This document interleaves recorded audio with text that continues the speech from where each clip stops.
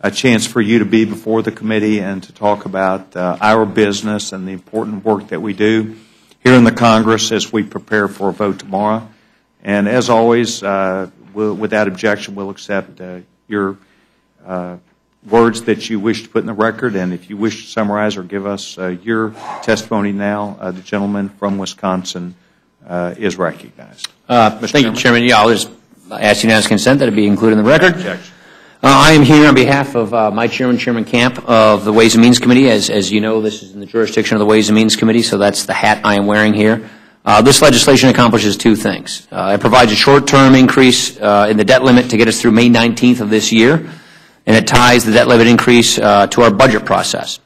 It provides that if each House of Congress has not passed a budget resolution by the statutory deadline of April 15th, members' pay will be withheld until that House passes a budget. Uh, This is based on the Cooper bipartisan uh, legislation of the 112th Congress.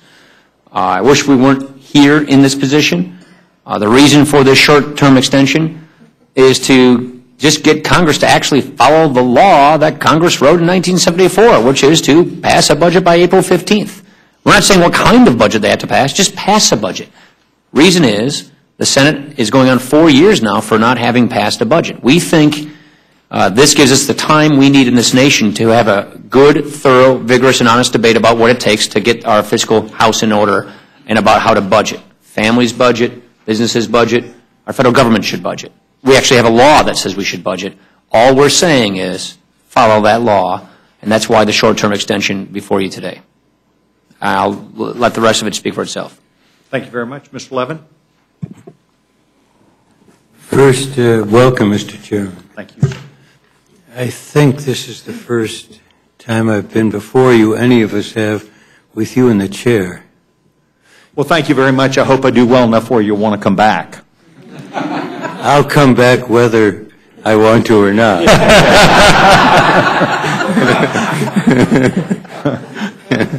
Well, we,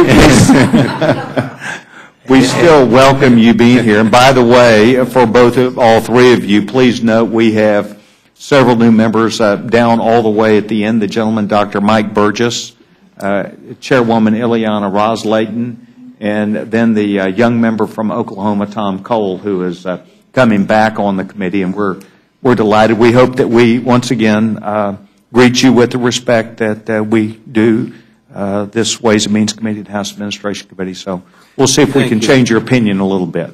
No, and thank you very much, and welcome to the new members, including one young veteran who has chaired another committee. Let me be very brief because we've been through this before. In the summer of 2011, um, 2011, uh, the House majority here toyed with the debt ceiling. And the ramifications were, I think, not only serious but severe. Um, in terms of job creation, August of 2011 was the worst in the last three years. Uh, the market plunged uh, in those two months 2,000 points, and it had in that period the worst single day drop in history. On August 8th, it was, looking at uh, my notes, so I'm very exact, 635 points. The Treasury was forced to spend well over a billion in interest payments, and I think we all remember so vividly uh, that uh, there was a downgrading of our credit rating. So a postponement of three or four months uh, has more than the potential of some very serious consequences.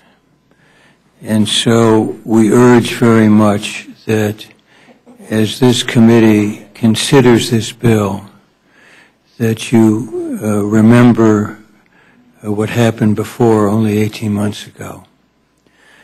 Uh, and um, I think using the debt ceiling for leverage is a mistake. I'll finish with this, because we were at the Ways and Means Committee, and I gave the opening statement, and one of the witnesses talked about Gramm-Rudman.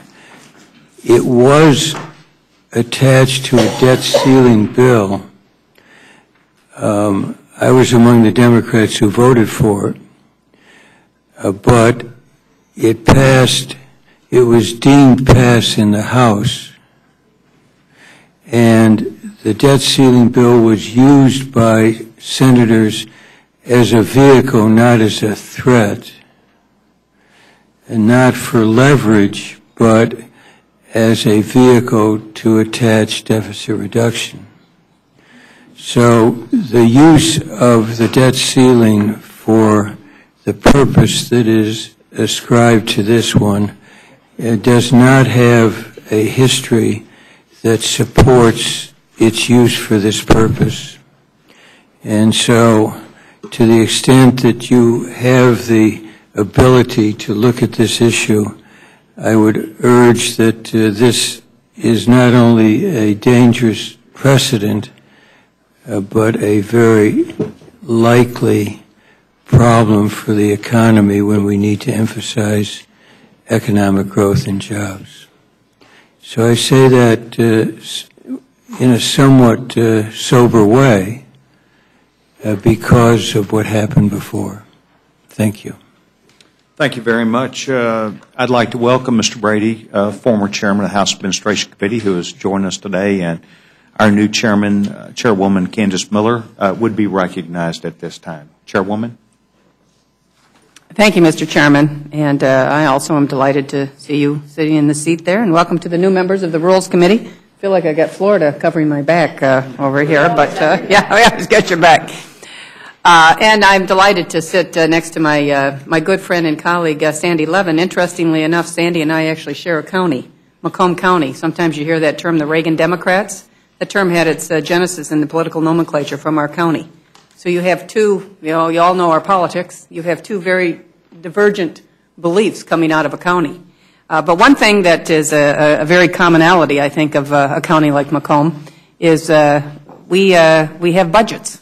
We pass budgets on time, uh, we balance them, and uh, we just think you should have a budget.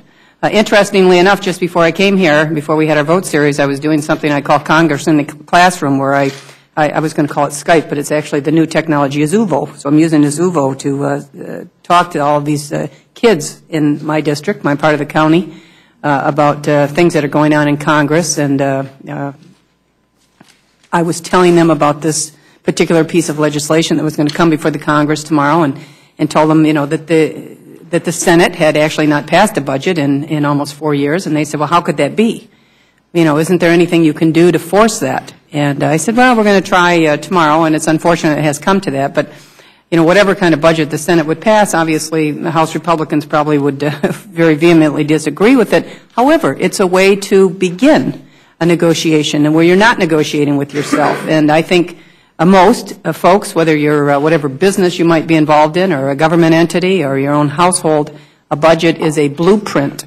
It is a blueprint for uh, a path forward uh, to your spending priorities and, and how you proceed. So um, I think that this piece of legislation that'll be on the floor uh, tomorrow, and I appreciate all the work done by my colleagues on Ways and Means on this, is an important piece of legislation, and I just came to add my voice to uh, to uh, uh, associate myself with the remarks of my colleague, Mr. Ryan. But I would also mention the caveat that has gotten a, a bit of attention uh, is the no pay clause uh, without having a, the Senate or the House, uh, either respective uh, chamber, not pass the budget, and whether or not that uh, meets the uh, constitutionality, the confines of the 27th Amendment. I'm not a constitutional attorney. I'm not an attorney of any type. But we've, we've, our our committee has looked at this quite a bit on our side.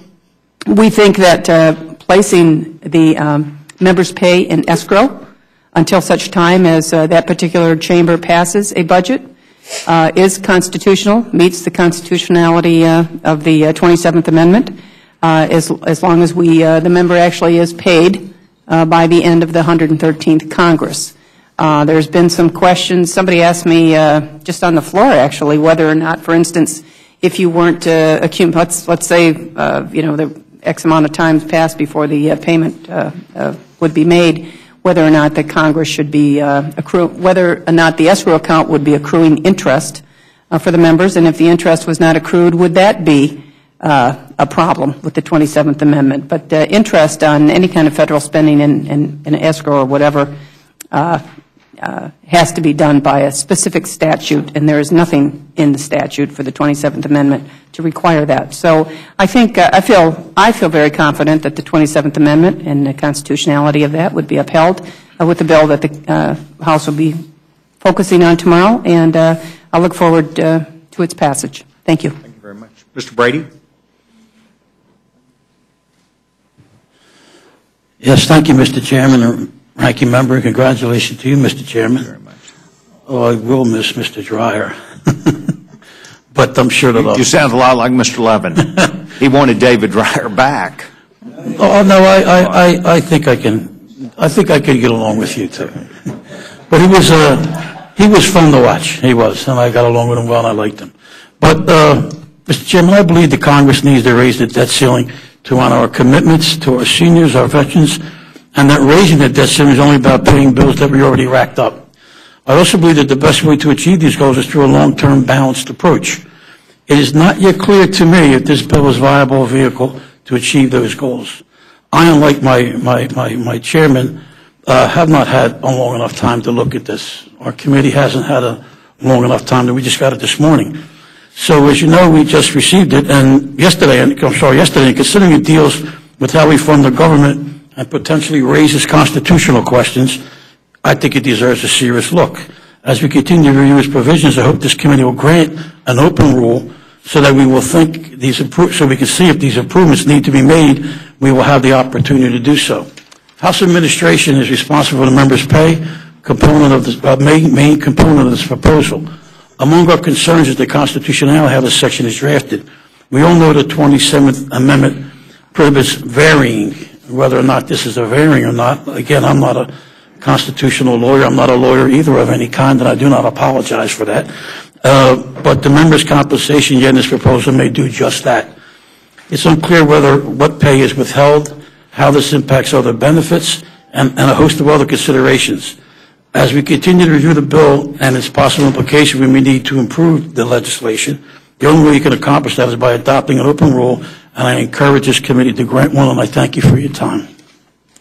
Thank you very much, Mr. Brady. Uh, I have heard two overwhelming questions uh, come up here today, and uh, one is, Mr. Ryan, which I would ask you this question. Gentleman, uh, Mr. Levin really alludes to the uncertainty that's caused in the marketplace. Um, And it was my real recollection, without studying this very clearly, that I think what the markets and the ana- analysis of that said was, there's great damage if you don't address the issue as opposed to going through a deliberative process where both sides or all three sides deal with each other effectively to get it done.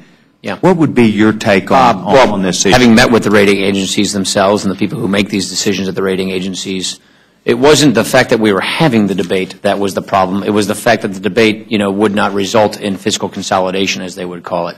Uh, let me take point you to evidence of Fitch. Fitch is a rating agency that just recently put out a, a negative downgrade warning, which said it's not that Congress is going to have a debate; it's that the political system isn't working to result in fiscal consolidation and getting spending and borrowing and debt and deficit under control. It's that this may not materialize in, in a result where we actually get our debt and deficits under control.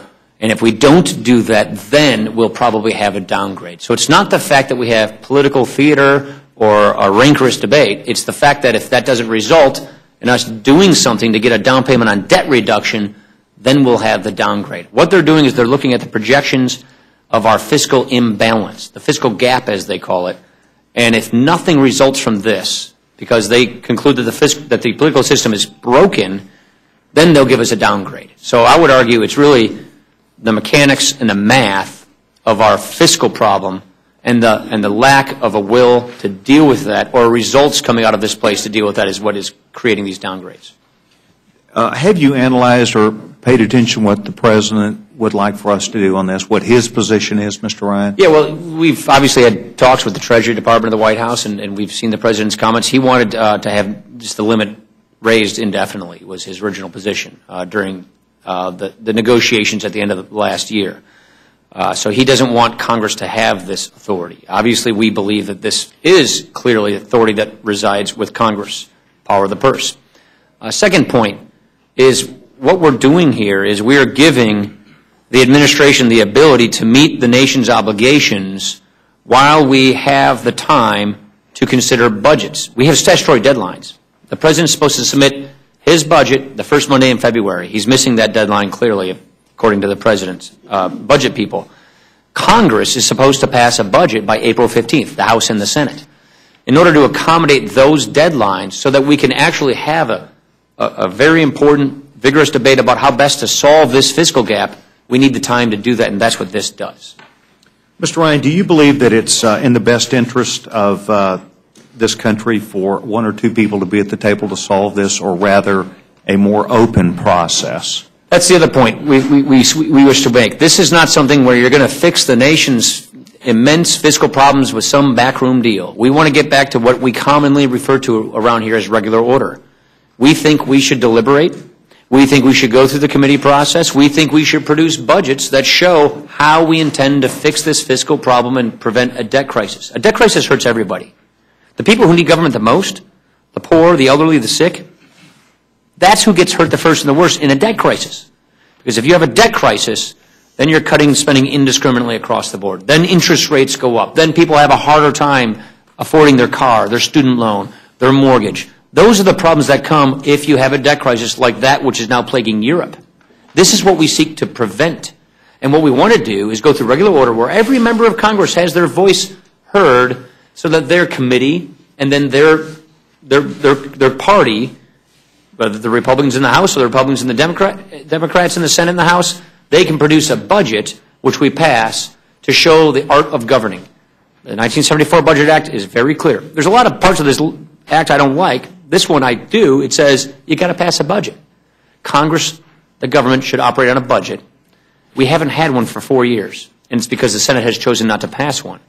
We believe we need to get back to the art of budgeting and have it through regular order, and that's what this does. This buys us the time in order to do that so we can have the kind of debate that Fitch and the rating agencies are telling us we need to have. How are we going to fix this problem? How are we going to prevent a debt crisis? How are we going to make sure that we don't leave our children and grandchildren with a burden of debt that will suffocate their futures? Mr. Ryan, today you represent the Ways and Means Committee. However, you sit as the chairman of the Budget Committee for the House of Representatives. Is it your intent to move forward to do the same that we would be asking another body to do, and that is produce a budget? It is my intent, as you know, that limit is jurisdiction of the Ways and Means Committee. Uh, It is my intent, as it, as I did last two years, is to produce a budget in that Budget Committee, bring it to the floor and pass it. I did that each of the last two years in fulfillment of the 1974 Budget Act, and we anticipate doing the same thing again. Well, on behalf of uh, myself, I would say, as a fellow committee chairman, I applaud you for doing the hard work. Uh, I've been on the Budget Committee, served with you in the Budget Committee, and it's, it's a lot of, uh, a lot of hard work, a lot of long hours, but it produces things that give people confidence that we're addressing those things. Thank you very Thank much. you. Uh, Mrs. Miller, if I could ask you, I've heard uh, our two colleagues uh, from the other side of the aisle really kind of uh, allude to this five-page bill that we have before us today uh, that I have read several times, and I think I understand it, but wouldn't it be true to say that the Senate would have to agree to this if it were going to become something that they would have to live by? So in other words, this is a document which we're producing, has to go to the Senate. So if they have problems with it, then they would take up that uh, issue and deliberate that. We're not, in essence, laying off on another body our own wishes. We're rather stating what we would like to do, and we're placing ourselves in the same position that we would be placing someone else. Would that be true? Placing ourselves in a position to follow the law. Good. And also uh, And perform. If the Senate uh, passes it, they will be uh, following the law as well, which Again, they've not done so in the last four years uh, by not having a budget. And, uh, uh, you know, it's interesting, uh, without naming any names, but, you know, you read some of the articles here uh, where a number of the members of the uh, Senate, uh, Democrats in particular, have said this is a great opportunity for them to pass a budget, to talk about tax reform, or various kinds of things, the debt ceiling, the sequestration, et cetera, that have not really been addressed appropriately uh, uh, uh, for the nation. So uh, I I think that is a a good way to look at it. It is an opportunity uh, to uh, follow the law and and do our jobs. And thank you very much. See, I agree with you, and I think both sides of this Capitol will have an opportunity to accept this bill, vote for it or against it, but to be able to debate it and the merits there within. And I think I have seen where several prominent uh, Democrats have really accepted uh, the challenge uh, to get that done. Mr. Levin, did you want? Oh, just briefly, my Yes, guess is we'll Gentleman's recognized. We'll debate this tomorrow. Uh, Just a few things. Uh, I'm in favor of regular order. Uh, That doesn't mean there's any guarantee of the result. And to use the debt ceiling as a lever, I think is a very serious mistake. After the um, credit of this country was downgraded, a senior director of Standard & Poor's, this was right after it, said the following about uh, American political institutions, that uh, they were undermined, I quote, that people in the political arena were even talking about a potential default. And essentially, this bill does that. And if I might say to Mr. Ryan, we're on the same floor, we, we talk to each other a lot anyway. Um, I think it would be helpful in regular order if there were a budget brought to the floor of the House that had bipartisan support and was a product of regular order with strong bipartisan support in the rules, in, in the Budget Committee and on the floor. Thank you. Thank you very We much. we look forward to your support. Uh, Mr. Ryan? Participation. A, a new issue has just been brought up by the gentleman, and that is perhaps the timing. Do you believe that this is timely and that you've given people an opportunity rather than waiting until the last minute and us getting to a deadline and then having to react? Yeah, uh, Mr. Levin and I are friends, and we. Oh, he and I are Having fun with friends. him. Um, Our intention, as before, is to write a committee mark, bring it to the committee, uh, entertain probably up to 40 or so amendments, uh, some of which we've taken in the past, and then to bring a product out of committee. Uh, There may be irreconcilable differences, but then the minority has, we will, we will fight here at Rules Committee to give them the opportunity to present a substitute budget if they don't like ours. And that, to us, is regular order. Uh, That's the way things ought to be. And I would love to see, there was um, one budget that did get bipartisan vote. Didn't get many votes, but it was Cooper and LaTourette and a few others. So there were some bipartisan votes. They got like 30 or 35 votes or something like that. But, so that, that happened in this last Congress. Um, I hope it happens in this Congress. But there may be a moment where we just have irreconcilable differences on how best to solve these problems. But at least we're talking about how to solve these problems. At least in the House, we brought budgets. Mr. Van Hollen, to his credit, brought a budget and brought it to the floor. To his credit. That didn't happen in the Senate. They didn't even attempt to do that. So here in the House, Democrats and Republicans have been leading by offering budgets and offering alternatives. Senate hasn't even done that. All we're saying is, let's get the Senate in the game here to do that so that we can debate about how to fix the problem, not whether we're going to even try to fix the problem. Mr. Chairman, I've been handed a note saying I need to go to another uh, forum. I, I recognize would that. you- and would you excuse me? Gentlewoman, uh, Mrs. Slaughter hears that, and I assume that, I should be there too. and we, Yeah, I'm next. I'll, I'll talk long so that you, your turn is up after mine. well, let, let, let, let me ask very quickly if someone has a, a question for Mr. Levin before he goes. And anyone? You you have to leave this minute. You have, all right, then I would not stand in the way. I think you'll give me leave, a- and the chairman will.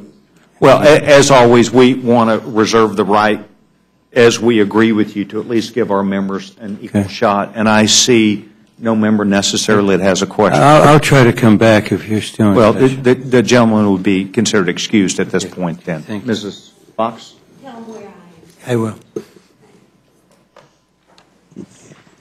Thank you, Mr. Chairman. Um, I appreciate very much um, the uh, resolution, uh, the bill that's been brought to us today, and uh, I I don't really want to repeat or ask uh, Chairman Ryan or um, Chairwoman Miller to repeat the things that they've said, but I do think it's important that we highlight the fact that the House, under Republican leadership, has been adopting a budget.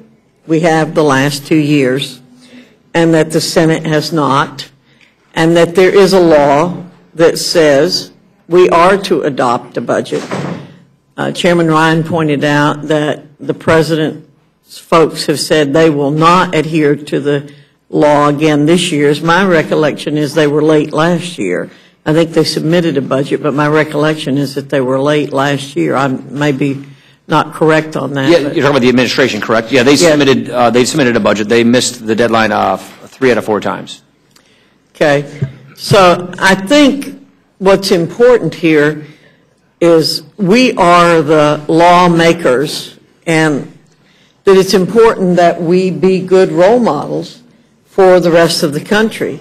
And um, we certainly are castigated on an individual level when we break the law. Some, some people have, some inadvertently, some um, uh, purposefully.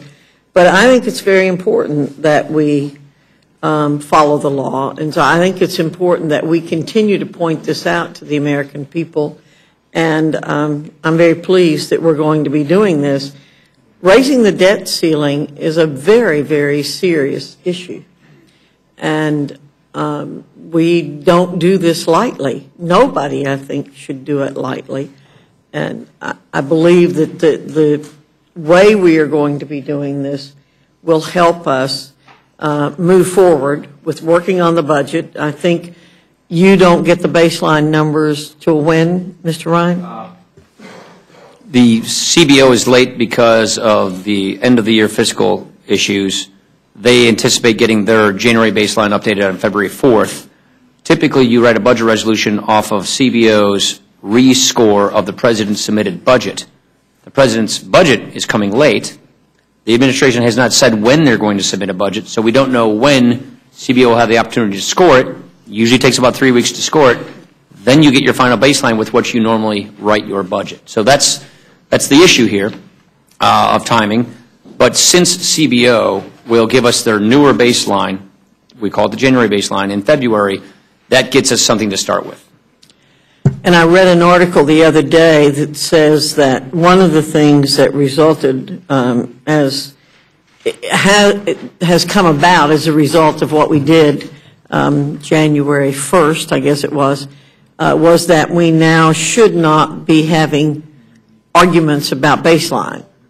That we hope that's been cleared up and that that will be a useful thing to have going forward.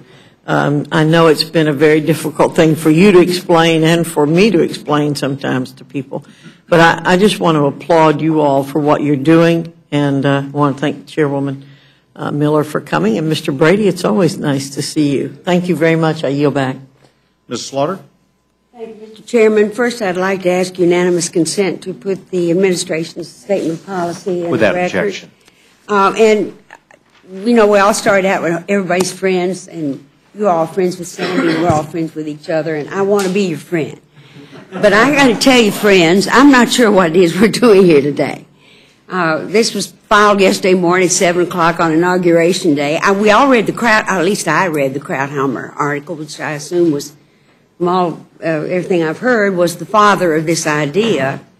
Um, And, but the fact is, the Democrat Party has been totally left out of this. We, we, we keep going down the road here, sort of lurching and jerking about, uh, sort of like Plan B, uh, leaving us out, calling us up to the Rules Committee where we all sit up here, uh, sitting up higher than everybody else uh, looking as though we uh, really know what's going on. We really have about had it. There is nothing called regular order here. We talk about it all the time. Uh, we talk about budgets being law. We waive the budget resolution up here every single week almost, and you know that's the law as well. But this this is a step too far for me. I really think what what you're doing here, while I, appreciate as well as I think everybody else on my side of the committee, that the idea of dollar for dollar business seems to be gone. We're glad for that. I'm not really clear. It's sort of a lottery, I think. We pass the law over here, and we think that the Senate will pass the same bill. Is that is that the idea? We believe that will happen. That's how the legislative process works. The House passes a bill and the Senate acts, And and if they don't act in kind, you go to a conference committee. Well, there's been no committee hearings, no public hearing, no discussion. There- Democrats need there's a hearing right now, what Ways and Means on this. You didn't know it. Um, and I'm assuming you've not had those conversations with the Senate. We have. Um, This bill came from um, a member of your side of the aisle, Mr. Cooper. Um, t- t- And it came, the decision was before that article you referred. I read that same editorial after we had decided this was the better course of action.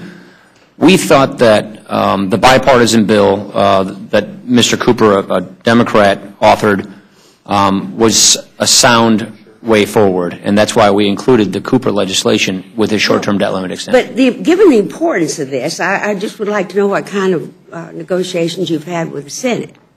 Well, we don't know if the Senate will accept the pass this or not. Um, I, I got the same SAP you just got, which says that the But- but- administration but- supports a short-term extension. but the Senate has to pass the same bill. We don't know the answer to that.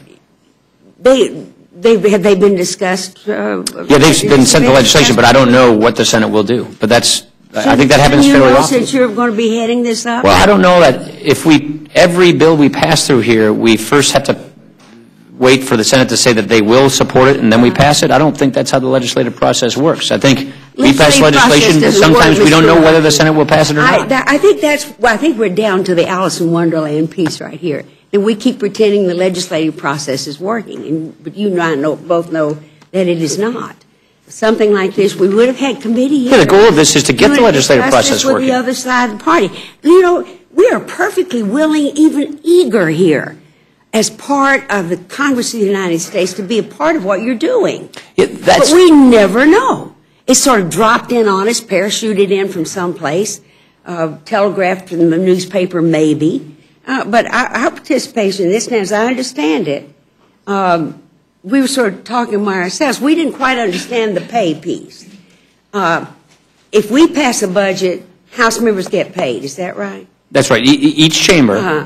has a responsibility to pass a budget through their chamber, And the Senate. and the pay is in escrow uh, until they do that, Uh-huh. after the statutory deadline. so houses will be treated. uh, The House is in control of its own Mm-hmm. fate, the Senate of theirs.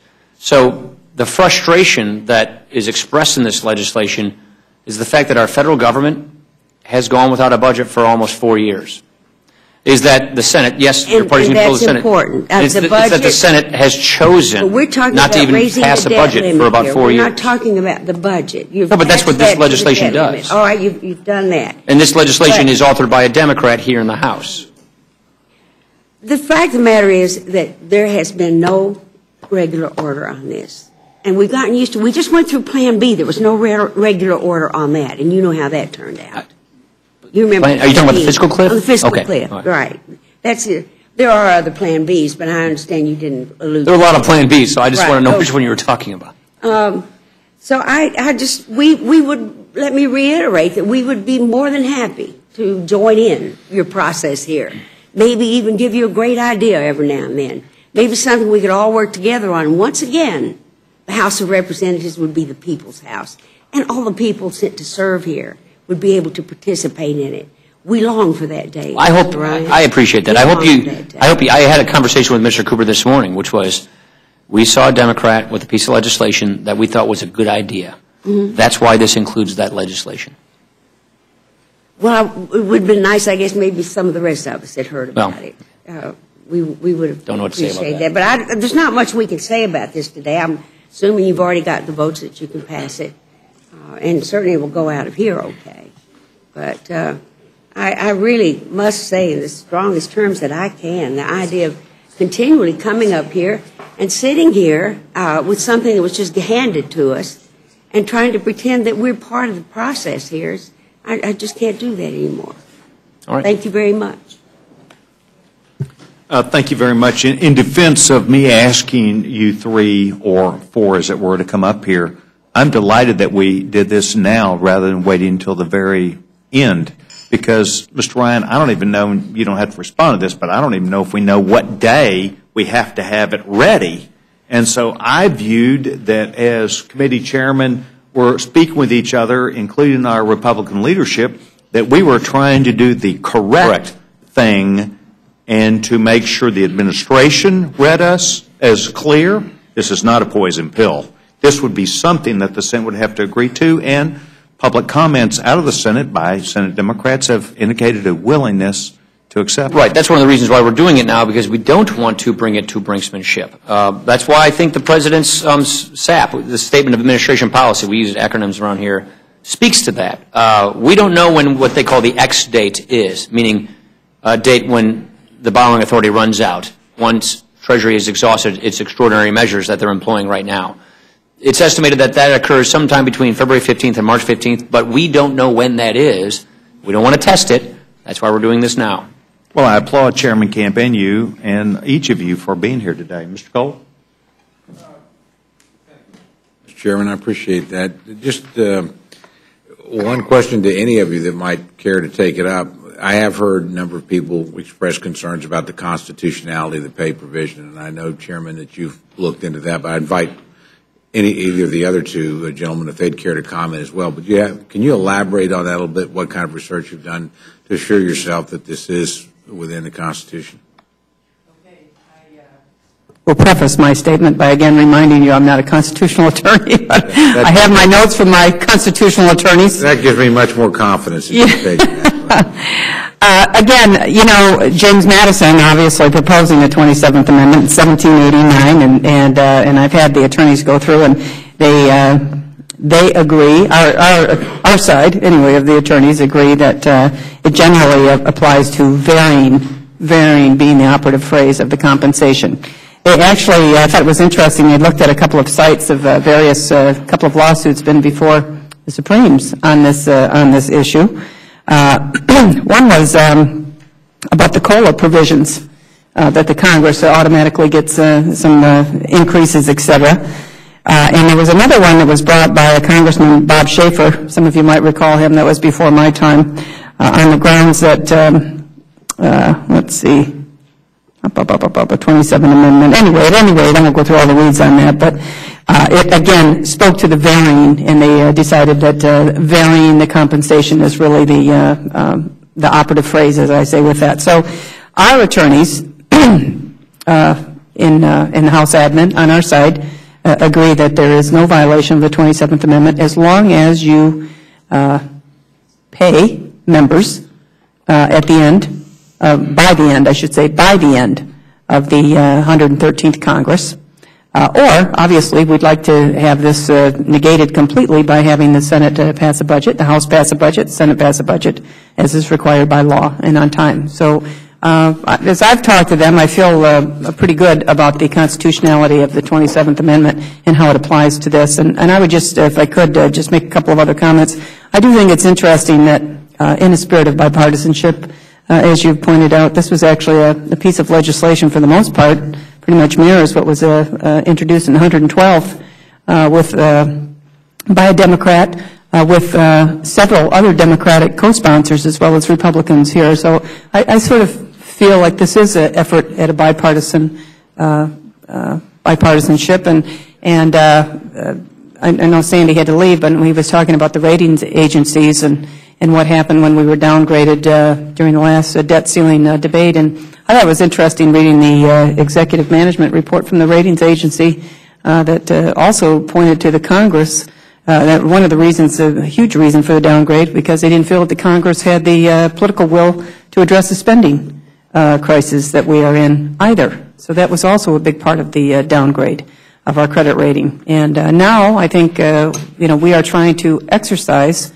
the political will to uh, address our spending uh, by having a budget, which you can't really talk about appropriation bills and all of these kinds of things. In my mind, having continuing resolutions to fund the government forever is uh, unsustainable, and uh, uh, you need to pass a budget to begin uh, with a foundation. Mr. Cole, I, I also talk to attorneys, our attorneys, and some other attorneys, not just with our staff, and I tell them, talk to me like I can understand you, because they start talking too much legalese. And what they actually told me, what I asked them is, if I get a paycheck in my account every month, and now I don't get that paycheck in my account till whenever it may come in, the end of the year, that's varying. And they, their opinion, that could be, they didn't say it was, but they said, could be that that could violate the 27th Amendment because we're varying something. Not coming this month, coming at the end of the year. The other thing I, I would like to just don't understand is that, and I'm going to tell you like I think and how it is, we're kind of like trying to not punish but penalize the other side, the, uh, the Senate, because they haven't acted. So what we're doing is last drafting legislation that's going to make our side, whether we pass it, maybe sometimes not pass a budget, and we're going to punish, not punish, maybe penalize our side by not getting a payroll or a paycheck until the end of the year. Now, I, I'm probably not, I think I'm talking maybe by just my own knowledge. I don't think that hurts any of the United States senators, but it may hurt one of our 435 members here, because some of them I know maybe have to make a mortgage payment, maybe have to make a car payment, maybe have to make a uh, insurance payment or some type of payment, and they may not be able to talk to their bank or whoever it may be and say, can you wait to the end of the year, I can show you my escrow account. So I'm wondering who we're penalizing here, you know, and I probably think we'll pass a budget in the House, so maybe this might not happen to us, but I don't think it's going to bother the other side too much. I mean, that's my opinion. Mr. Ryan, do you have any thoughts on this? Well, just to state for the record, it's not meant to punish people for past behavior. This is meant to get Congress back to doing its job, to simply following the law, to budgeting. We have a fiscal crisis. We are racking up trillion-dollar deficits. This is not a Republican against Democrat thing, it's a math thing. This debt crisis is coming because of the debt that is piling up. All the independent fiscal authorities tell us this. The rating agencies downgrade us because they think our political system is broken at an impasse, therefore no solution is occurring. And our argument is the way to break that impasse is to start budgeting. The law says we should budget. We should follow the law. We have, dis- we have disagreements on how to budget. But at least we ought to come to the table with each of our ideas and our plans. If you're ever going to get to a solution, what usually happens under what we call regular order is we pass our budget vision, the other side passes their budget vision, and then we've brought ideas to the table and we start negotiating. That hasn't happened for four years because the Senate has chosen not to even begin this process. And so we think we are advancing the goal of restoring fiscal discipline to our federal government by just getting Congress, the House and the Senate, to begin to follow the budgeting law again to budget. Now, at the end of the day, we hope this will result in getting a down payment on our debt problem so that we can can continue to meet the obligations of our seniors, of, of our military, of the people who are living on the safety net, of the vulnerable, of the bond market, so we can keep interest rates low so that we can make sure that we don't hurt our economy. I, I want to uh, commend you and all involved on the effort to try and get people just put out a budget. I think we all know, with all due respect to my friends on the other side, their last year in the majority, they chose not to do that. I think they chose thinking that would provide some political cover. It clearly didn't. Uh, uh, and I think that's what's gone on on the Senate side. I think this is a political calculation that somehow this will spare some of our members from difficult votes. I'd commend you for developing a difficult budget and uh, and uh, getting your colleagues to vote on it. And it was a legitimate issue in the campaign. I have no problem with that. I think that is an appropriate place to have these discussions. You come, you vote, we go have a campaign, and that helps the country clarify the issues. We move on. Uh, The House uh, has fulfilled its responsibility in that regard in the last two years and went through the fire in the election, and I think that's fair. The Senate just simply has not. Uh, And it is discouraging. Uh, You know, it just takes 51 votes. That's all it takes over there. I've, I've actually heard commentators tell us, oh, no, this requires 60. It takes no such thing. Uh, It just takes 51 votes, and the, where the majority now has 55, and at one point had 59, uh, and was unable to get, unwilling, I should say, to get 51 of their members to do what you got over 228 of our members to do last year, which was actually vote on a budget going into an election year. So, uh, Mr. Chairman, I'm delighted to see legislation like this. I do think there are legitimate constitutional questions. I, uh, I think those are, we'll probably have a vigorous discussion about that uh, in the next couple of days. I'm, I'm comforted by uh, some of the precedents you cite, Chairman. Uh, but at the end of the day, this is just about getting us to do our jobs. And there's not a member up here that wouldn't tell you it really is our obligation to write a budget. Again, our friends in the majority did not. I'm really happy to see in the minority they've chosen to do so. I think it's actually a very good thing. Uh, I can tell you when we were in the minority, writing a real budget and laying it out there was a very good thing for us politically. So it's the right thing to do. I think our friends in the Senate need to, to follow course and uh, just simply present a budget. It'll clarify the issues. I think it'll help, actually help us avoid future debt ceiling crises. If we know we've got some manageable plan uh, and each side staked out a position, we'll, we'll find some commonality, no doubt, and I think we can move forward. But, uh, you know, until the Senate actually gets in the game, I don't think that's going to happen. And I do think that's playing fast and loose with the credit of the United States for political reasons. So again, I commend you very much, and Mr. Chairman, I yield back the balance of my time. Thank you very much, Mr. Cole. Uh, Mr. McGovern. Thank you, Mr. Chairman. And, um, Mr. Chairman, you talked at the very beginning uh, of your remarks about a, a deliberative process, how important that was. And, um, uh, and uh, Mr. Ryan talked about uh, regular order. I mean, and I'm, we're all for that, uh, but we're beginning not with a deliberative process, and this is not regular order. I mean, this is, this is not the product of a deliberation in the Ways and Means Committee or hearings and markups. I mean, we're, we this, this really is kind of a backroom deal that we, we read about. I first read about it uh, when you were on your retreat. Uh, so we, we, we begin on, on that note, um, and I think one way to uh, avoid that characterization would be to agree to what Mr. Brady has asked for as an open rule. Uh, and I would, you know, ask both of you, uh, Ms. Miller, Mr. Ryan, whether or not um, you would uh, favor an open rule here so that we can have a deliberative process so that, you know, members who, quite frankly, uh, haven't even read this yet because, uh, again, yesterday when you dropped it in, it was um, inauguration day, Martin Luther King's birthday. Um, there are questions about constitutionality that people uh, who are not constitutional experts are trying to grapple with. Uh, so uh, would you be in favor of bringing this to the floor under an open rule tomorrow?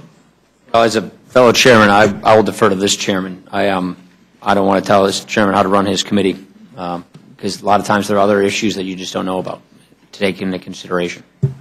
Does anyone, do you have an opinion on whether this should be an open or closed rule? Uh, I also will defer to uh, your Rules Committee to uh, debate uh, after we're done. That's, that's I- why you're, you have this yeah, committee, I'm- yes. I'm not particularly surprised by your answer, Uh, but I mean, I I just think it's an important point to make. And the, and the other thing is, um, you know, uh, you know, I'm as frustrated with the United States Senate as anybody uh, on this committee. Uh, But I think it is a little bit disingenuous to say, lay the entire blame for where we are at the feet of the United States Senate. Um, You know, uh, over the last several months, over the last year, on these budget negotiations, when Speaker Boehner and uh, the President, according to press reports, were coming close to an agreement, and the Speaker walked away on a number of occasions. I doubt he walked away because the Senate didn't pass a budget resolution. It was because that members in your own conference uh, didn't want to compromise. Uh, And the problem with the budgets that have been brought to the House floor, that have been passed with your majority, have been that they have been extreme. Uh, That, uh, that, and in some cases, they're irreconcilable because they are so uh, extreme. So it would have been better, I think, to begin this process um, truly in a bipartisan way, uh, to engage the leadership of, of, of, have the leadership of your party engage our leadership, to go through a, a kind of a committee process of deliberation where you did have a bipartisan uh, product. You mentioned that this is uh, Mr. Cooper's idea. um, I looked up the bills. I mean, the bill that you're basing this on, that Mr. Cooper introduced, doesn't even mention uh, the debt ceiling. And then another bill he did that did mention debt ceiling said if we default on our debts, that congressional pay is kind of the last thing uh, that uh, that gets resolved. So this is this this is different than that. And I, I also want to go on record as saying I, I, I do not believe that we should be politicizing the debt ceiling. I guess I'm I should be happy that we're not going to default immediately because we're going to kick the can down the road for three months. But uh, I'm tired of government governing by gimmicks. And this, this is kind of another gimmick. I, I don't know whether or not withholding the pay of senators, most of whom are multimillionaires, is going to really be a big deal. But, you know, but it, it, but that's not the way this should, this process should work. It shouldn't be about gimmicks. It shouldn't be crisis to crisis. And so I, you know, I mean, I, you know, this will be brought to the floor tomorrow, but I think that if we want to start off on the right foot, uh, that I think would be important for this committee uh, to have an open rule, given the fact that this is uh, being brought to the floor uh, in a very, uh, ra- I'm, I'm going to vote for an open rule, but I, I was hoping you could help convince those guys to vote for an open rule, but you're not going to help me, I guess. So, um, yeah, well, okay. Well, anyway, I, um, I, I I thank you for your testimony and uh, look forward to seeing you tomorrow on the floor. Thank you very much, Mr. McGovern. Mr. Bishop? I came in late. Do you think you could summarize for me what's all gone so far? We've, uh, we- we- we've had four witnesses today, See. And uh, we've had two that agreed with each other and two that disagreed with each Oh. other. Well, so we're still a tradition around here. We, we will continue that today. I, look, let me do this very quickly, because I, I have heard, just in the short time I've been here, presuppos- presuppositions of what actually we will and will not do. As I understand, uh, we haven't done a budget yet for this year. That's correct. It's due April So 15th. This bill doesn't presuppose what the budget will or will not be. Correct. It doesn't presuppose what the Senate will or will not. Correct. It just says there has to be a budget. That's right. And in order to do Which the that. law requires. And that's strange. Actually following law, that's a unique concept around here.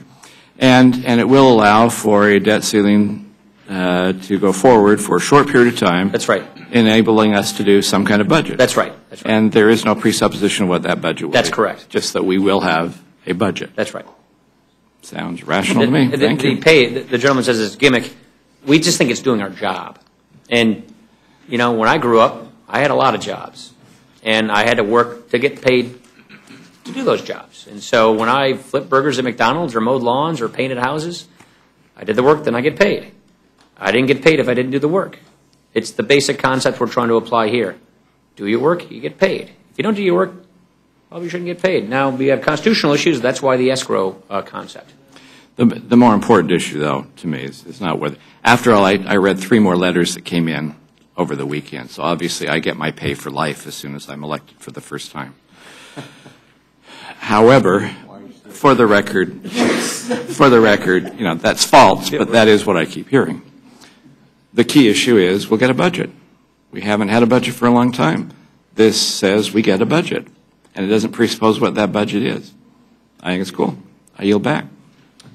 Thank you very much, Mr. Bishop. Two other points that we might make. One, we don't know when the actual date is that we would be aiming, where- where default theoretically could occur.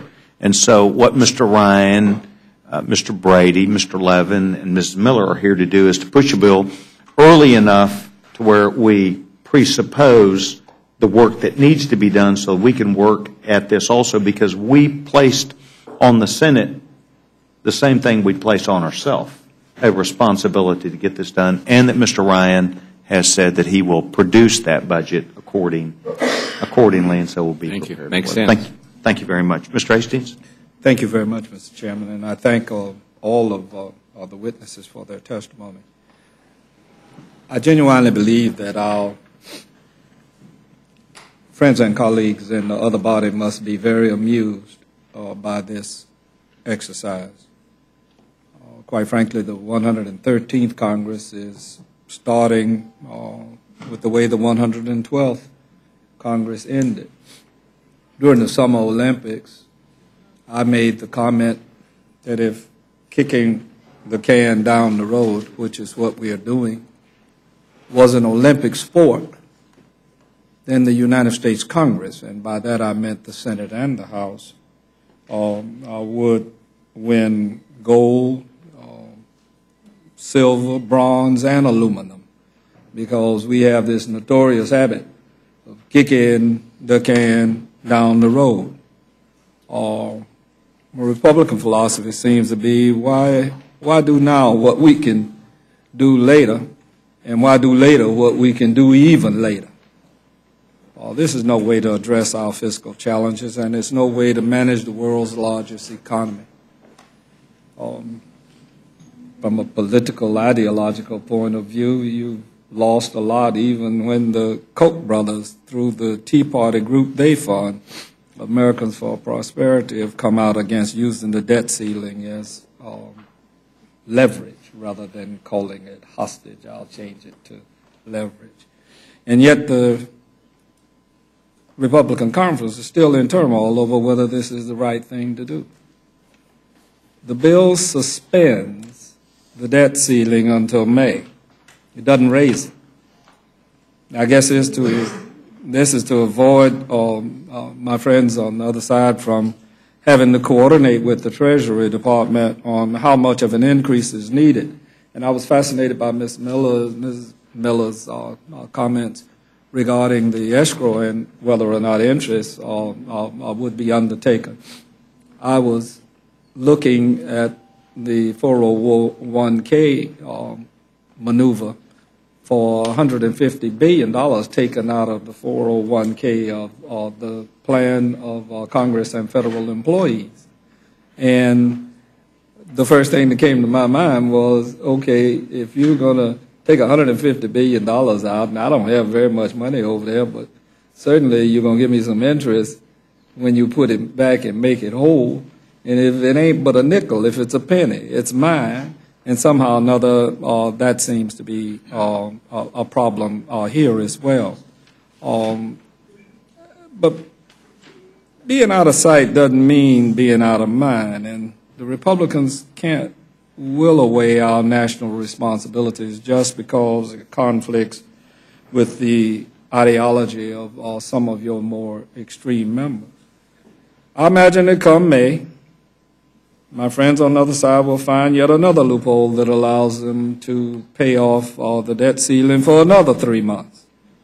And so we'll lurch from almost crisis to almost crisis through the next two years, while at the same time, you are notorious uh, on the other side for complaining that the problem with our economy is uncertainty. I've heard that more times than a little bit both uh, here in this institution, in the Rules Committee, and uh, those uh, uh that were on the political trail. Now, I agree uh, that continuously threatening to default on our national obligations is a serious breach of economic certainty. Um, but Republicans seem to be attracted to this kind of dangerous uh, political gimmickry, to act seriously on ensuring the full faith and credit of the United States. And until they do, I suspect that we'll have a lot more rule meetings on this very issue. Now, as a lawyer, not a constitutional scholar, having made a lot of decisions about constitutionality uh, as a federal judge. And when I went on the bench, I was accused of being a judicial activist. When I was thrown off the bench, I was accused of being a judicial activist. And I guess that's compared to strict constructionists. And if there was ever a case for strict construction, the 27th Amendment was not ultimately ratified until 1999. Ms. Miller is correct.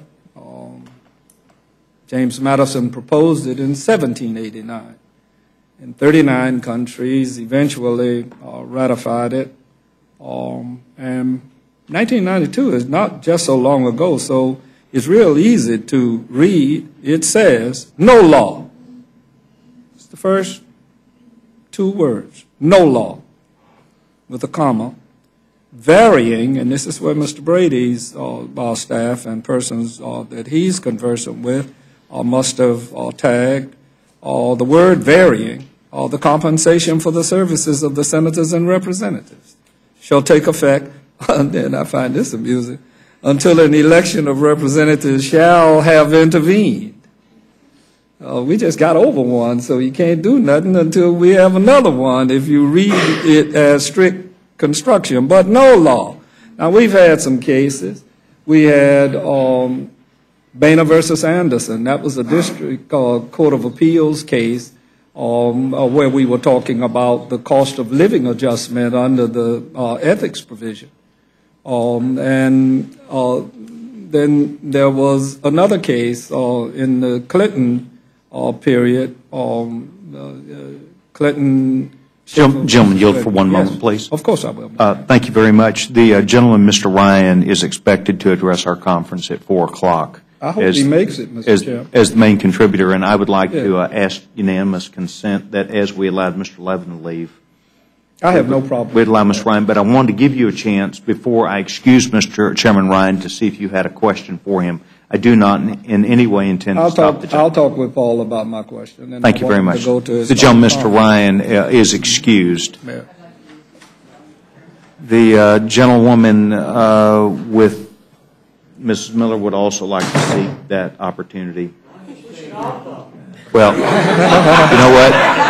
You know what? All right, all right. It- it- look, uh, uh, Well, the- the- per- perhaps we may or may not want to have that debate. Uh, The gentlewoman is ex- seeking to be excused, and I would allow, uh, based upon uh, unanimous consent, to do that.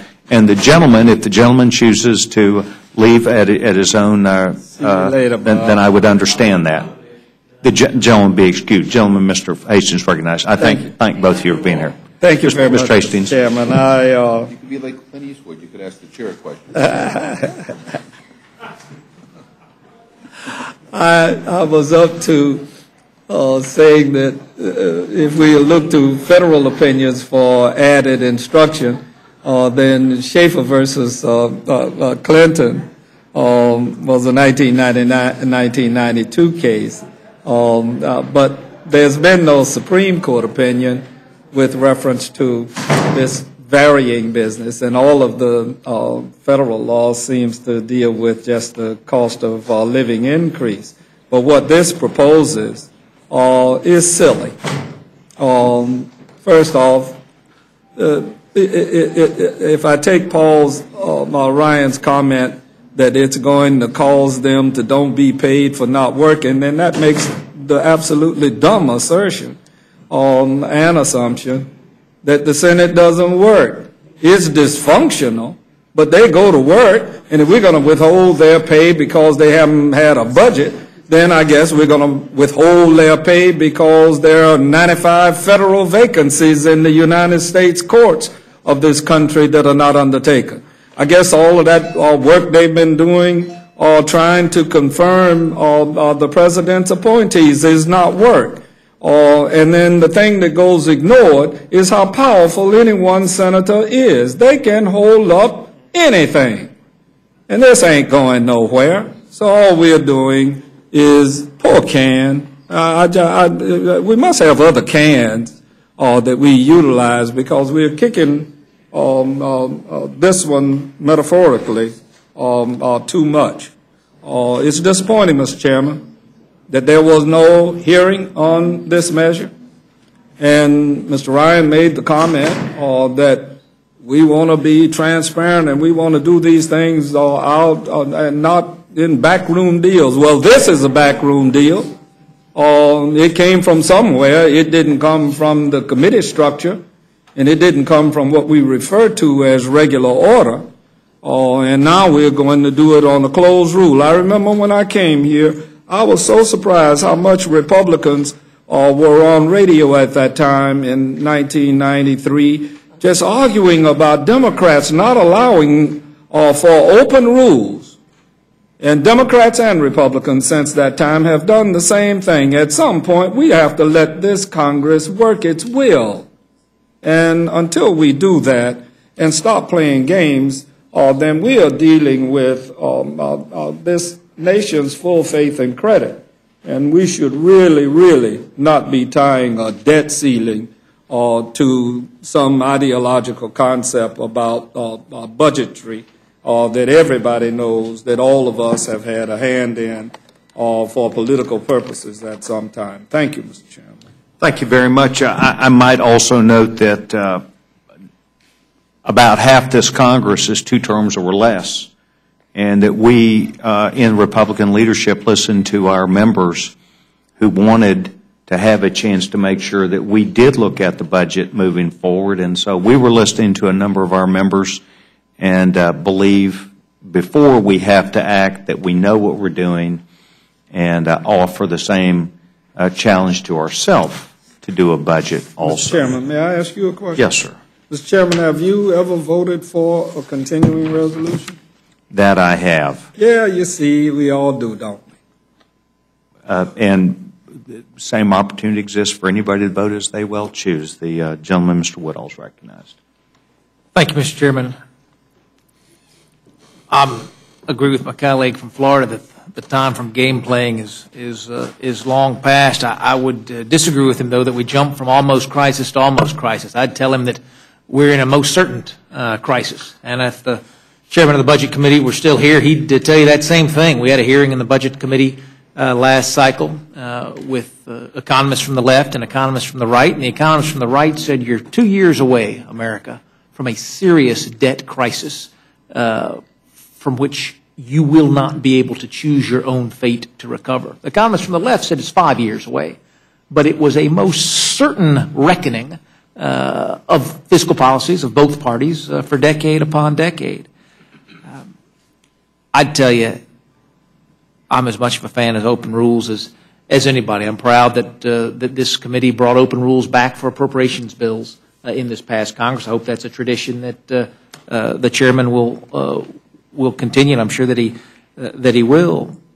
But this so-called backroom deal is the one that the ranking member introduced the statement of administration policy for, where the president said he would not oppose H.R. 325. This so-called backroom deal is the same one that, that Senator and Majority Leader Harry Reid came out today and praised the House uh, for taking up and moving forward. So at, at some point, when we're dealing with really serious problems, and I, uh, I'm candid enough to say some of the problems we deal with in this committee are really serious, and some of them not so much.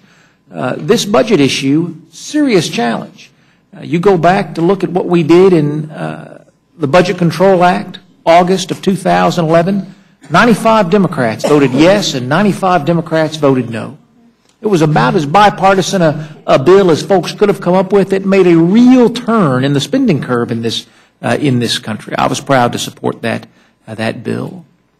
We can either try to jam something through in three and a half weeks, because I can tell you we don't have the votes on our side of the aisle to pass a, a, a debt ceiling that does nothing about the real problem, that does nothing to, cars, to, to deal with the real crisis, the certain crisis. The votes aren't here, and I'm glad that they're not. It's an irresponsible thing to do to, to kick that can down the road. But what we have been able to do is say, let's give ourselves four months through a serious budget cycle, a budget cycle where the Senate says they want to pass a budget for the first time in four years, and see where those goalposts are, see what our priorities are, see what our values are, and see where that low-hanging fruit is where we can come together and work on something. Mr. Chairman, I'm, uh, I'm sad that our, our, our witnesses uh, have left us, but I'm glad that they uh, were able to testify to the, to the opportunities that this provides. And I, you, you you look for those numbers of things that the, the President agrees on, the Senate agrees on, and the House agrees on. They are few and far between. I hope the House will seize this one tomorrow.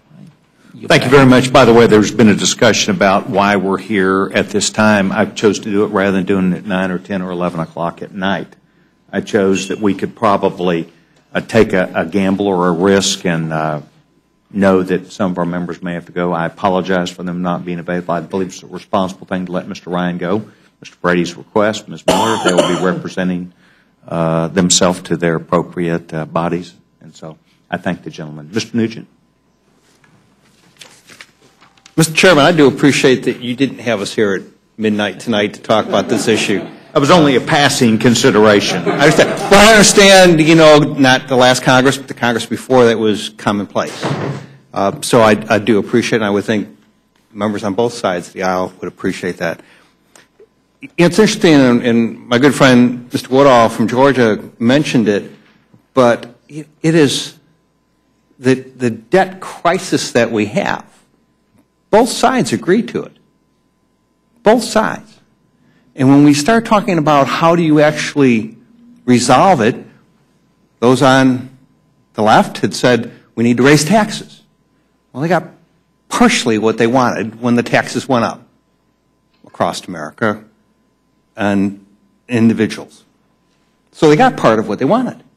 Now, the other part is really, truly spending reduction because, and I, I know the President doesn't necessarily, agree that we have a spending crisis, but we do. Economists say that. It's the reason, and Mr. Ryan had mentioned it, when those agencies talked about our underpinning as it relates to our overall health of our economy, they talked about Congress's inability to do two things.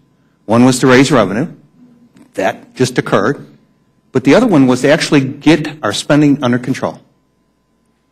And while this doesn't do it, and I agree that, you know, this body, and it isn't just in recent history, but over, looking back over the years, that this body has kicked the can down the road, and that's why we're in the, the position we are today, where we're putting, adding trillions of dollars of debt as we move forward. So while this is a small movement, and while it doesn't sound like much to get the Senate to actually do it, I, I know it's by law, they're supposed to do a budget, but there's, but there's, in that law, there was no slap if you didn't get it done. It's just that we just expect you to do it because you're honorable people. You do what the law requires. This is just saying to them, hey, listen, do your job. Do your job. And I don't know what the constitutional implications are because I was just a cop.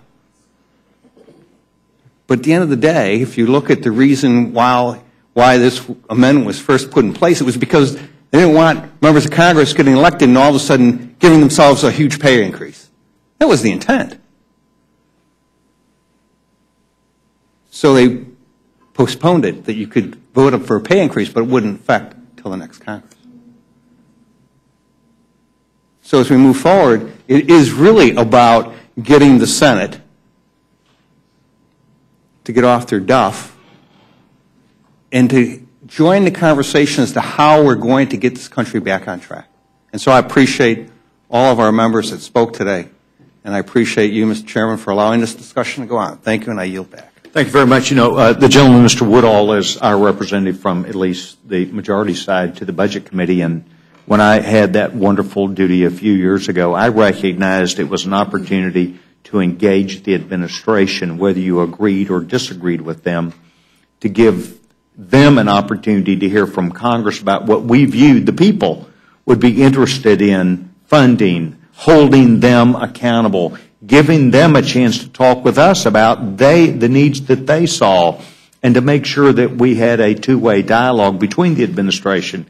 It's not just some political document, it's a real live document that uh, our government needs uh, if they were going to effectively work uh, under the law with uh, an understanding about what were they, they were to produce and what they, what results they had. So I agree how important this is in our work today. And that's why we are taking this time during the day to do this. And I was delighted to bring as quickly as we could. Mr. Webster? Ms. Uh, no? Mr. Burgess, Dr. Burgess.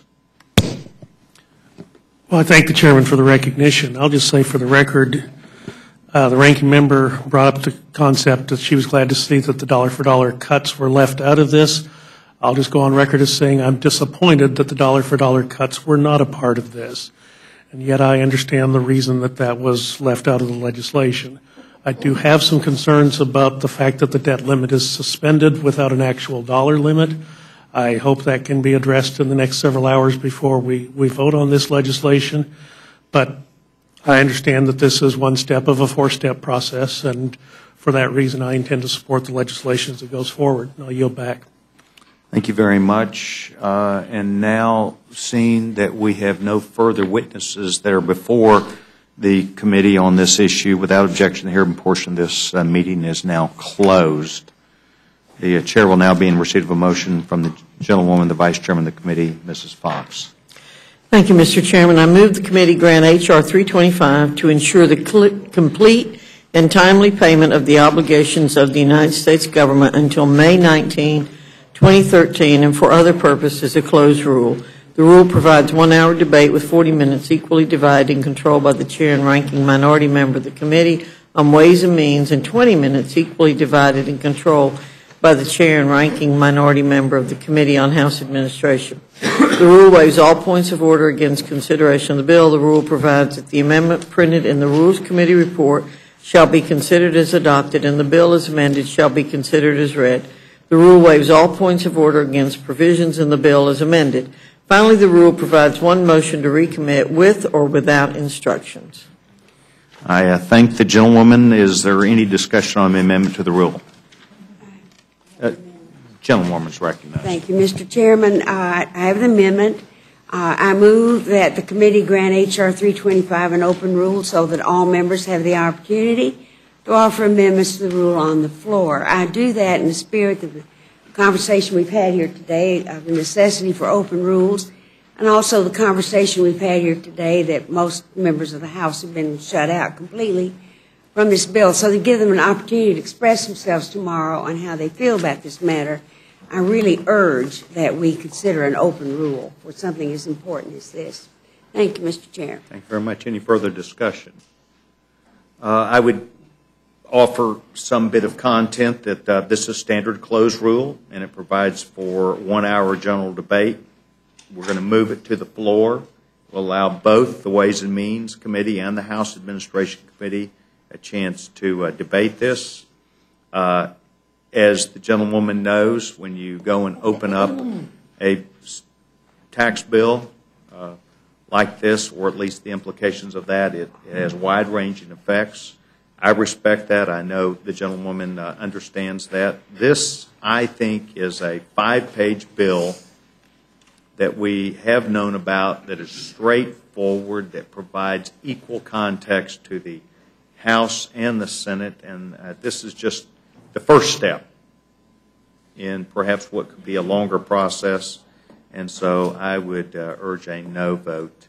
Uh, Hearing no further question, the que- hearing no further discussion, questions now on the amendments, all those in favor will signify by saying aye. Aye. The gentlewoman's, To vote on this amendment. Aye, we are. Vote aye on this amendment. and all those opposed? No? May I have the roll call? Uh, Gentlewoman's request roll call vote, gentlemen will poll the committee. Ms. Foxx? Ms. Foxx, no. Mr. Bishop? Mr. Bishop, no. Mr. Cole? Mr. Cole, no. Mr. Woodall? Mr. Woodall, no. Mr. Nugent? No. Mr. Nugent, no. Mr. Webster? No. Mr. Webster, no. Ms. Ros-Lehtinen? No. Ms. Ros-Lehtinen, no. Mr. Burgess? Mr. Burgess, no. Ms. Slaughter? Ms. Slaughter, aye. Mr. McGovern? Aye. Mr. McGovern, aye. Mr. Hastings? Mr. Hastings, aye. Mr. Polis? Mr. Chairman? No. Mr. Chairman, no. Clerk will report. Three yeas, eight nays. The amendment is Or not. Nine nays, excuse me. The uh, amendment is not agreed to, or are there further amendments? Seeing none, uh, we now will uh, vote in favor of the uh, amendment uh, offered by the, the motion offered by the gentlewoman from uh, North Carolina. All those in favor signify by saying aye. Aye. All those opposed, no. No. Roll call. Uh, Gentlewoman is seeking a roll call vote. Gentlemen, uh, would uh, please. Ms. poll the Foxx. committee. Ms. Foxx, aye. Mr. Bishop? Mr. Bishop, aye. Mr. Cole? Mr. Cole, aye. Mr. Woodall? Aye. Mr. Woodall, aye. Mr. Nugent? Aye. Mr. Nugent, aye. Mr. Webster? Mr. Webster, aye. Ms. Slaughter, uh, Ms. Ms. Ros-Lehtinen? Aye. Ms. Ros-Lehtinen, aye. Mr. Burgess? Mr. Burgess, aye. Ms. Slaughter? No. Ms. Slaughter, no. Mr. McGovern? No. Mr. McGovern, no. Mr. Hastings? Mr. Hastings, no. Mr. Polis? Mr. Sessions? Aye. Sessions, aye. Clerk will report the total. Nine yeas, three nays. The motion is agreed to. Uh, I will be handling this uh, for the majority. And Mr. McGovern will be handling this. I want to notify the uh, committee that we do not expect any other meeting this week. And with that being said, I want to thank the committee and the staff for their time today. I recognize there are lots of things that people need to get after today, and so this committee hearing is now closed.